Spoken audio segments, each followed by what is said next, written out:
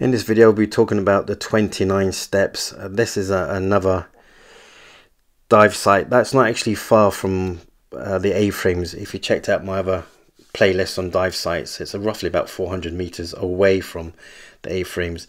This is a site I've not actually dived before. Um, as the name says, 29 steps. You have to get 29 steps down to the, the shore. It's well concealed. Um, if, if you just pass drive past it, you'll actually miss it. So on this, hopefully, will give you a rough idea how to find the site. So on the next picture will be roughly how far or the location to get to this um, site.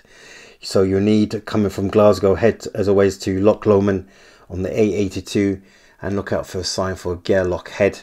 That's the A17 and then from there just follow that road all the way around until you come to roundabouts and take the third on your right. And again the next roundabout take the third on your right. Keep going down until you pass the, the green kettle which is a calf. Keep going down again and you see the oil terminal. Uh, follow that road. Um, you might recognize the dive site on the left which is called the A-frames. You might see people setting up uh, diving equipment. Obviously go past that but keep your speed down as you quite quickly come upon this uh, site so in the video coming up, you see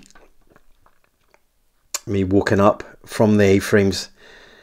Uh, on your right, there should be uh, like an oil storage tanker. And you can see there's not much room for this, um, for parking for cars. Um, you're very limited. You probably push can get four cars in. Um, I wouldn't recommend park on the other side because that's an entrance to a cottage, which uh, cottage, I think bed and breakfast you see in a minute in the video. So as I'm walking up on your right, there's um, a gate for emergency services to gain entrance to the actual oil, um, oil terminal. And there's a sign that says do not block. Um, use common sense here, do not block the entrance because they will probably move your car away. And again, do not park too close on the left hand side. There's a bit of a, a ditch. Don't want to get stuck in there. So there's the gate. It looks like it's never been used, but just in case, do not block this area up. As the camera turns around, see if you can spot the entrance. It's not very visible.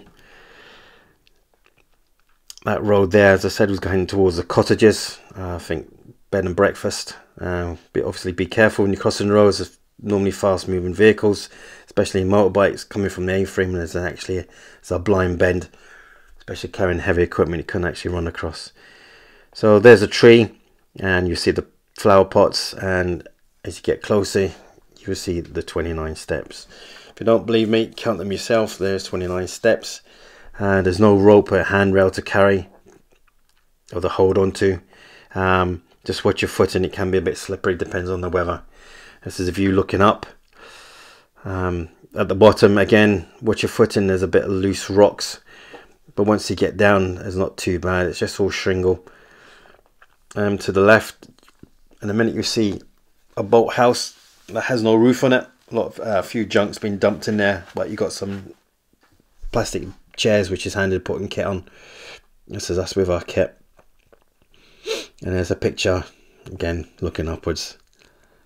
Trust me it's a lot harder going up so the site itself is not bad when entering the water. There's no actual big rocks. It's great for training, I think, because there is actually a, a dive platform underneath.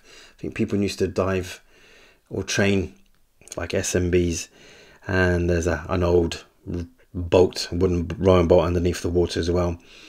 And there's a one or two big piles of discarded dive cylinders that just been dumped. It's quite interesting. Um, and of course, various marine life. Um, so basically from from the boathouse, just literally go straight on uh, for roughly 15 meters and you'll come across it. And then to the left is where the damped uh, dive cylinders are. And just have a swim around there. Probably max depth is probably about mm, pushing it maybe 30 before you get too deep with the current. But overall, I think it'd be ideal for training. But the only issue is, is getting your kit up and down, which can be quite tiring after a long dive.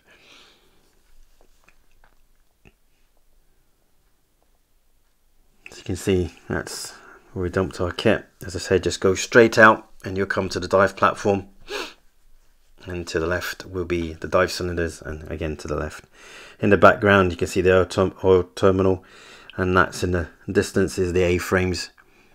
So it's not too far away from this site.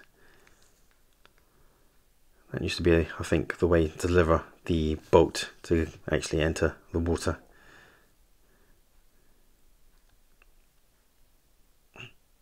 as always in this Loch Long it's always nice and calm. The weather wasn't too bad. But as I said great for for trainees. Not much obstacles. Wasn't visibility wasn't too bad on this day. And then to the right that's where the um, I think cottages are and the bed and breakfast. I'm not sure what they are. Again panning around. Just give me a sight of the view of the site so that boathouse doesn't have any cover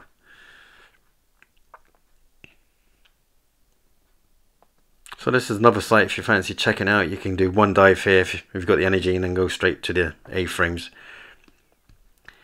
So the next clip is going to be us coming up. The view from the steps. You can dump your kit there or even set your kit up and then walk downstairs to the steps.